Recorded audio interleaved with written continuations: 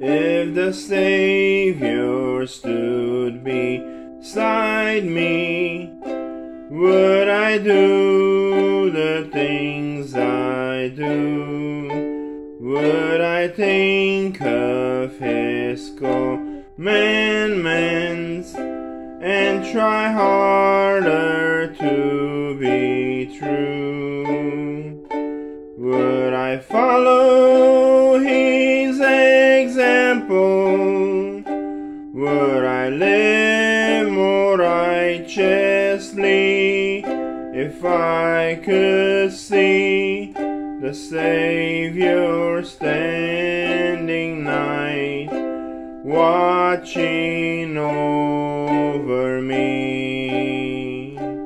If the Savior stood beside me, would I say the things I say?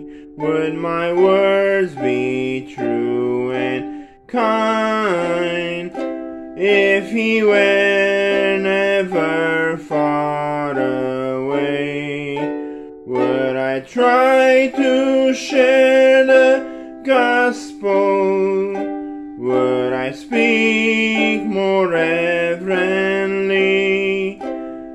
if I could see the Savior standing night, watching over me?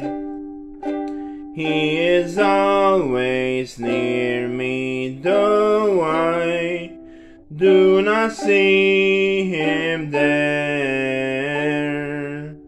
And because he loves me dearly, I am in his watchful care.